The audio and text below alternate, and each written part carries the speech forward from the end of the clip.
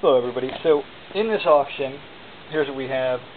Uh, Lionsgate, this is a collector's edition comic book. It actually came with the game.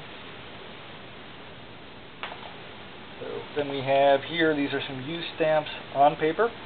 Uh, there's some new ones, some older ones, as well as some from different countries. There are some US ones in here also. And here we have two uh, AC or UNC, excuse me, AU or UNC uh, coins. This one here is from Singapore, one dollar. Can't really see it with reflection. And this one here is from uh, Brazil, and that is 50 centavos. 50 centavos. Next, we have assorted world coins here from multiple different countries, uh, multiple different denominations. Getting 15 coins in all. I'm not going to go through all these. Uh, different years, etc. You have this little little vial with this cute little cork, uh, and it's got Paradites in it, Paradite chips. And you have some Tumbled Tiger's Eye, There's three in there. Here's a really nice thing. This here, uh, these here alone would go for 50k credits easily. Um, it's four cubed emeralds.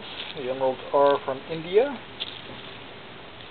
I actually normally sell one or two of these alone for over 10 bucks on eBay.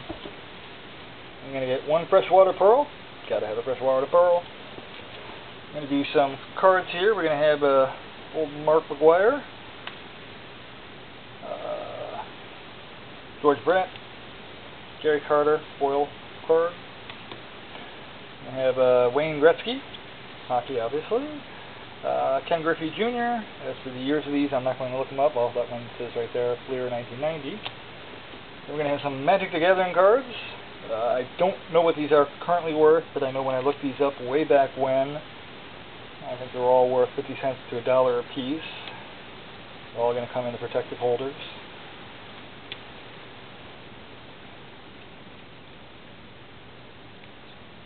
And, oh, look at that. Old Nolan Ryan. Here's that. Uh, I don't remember. 84? Of course.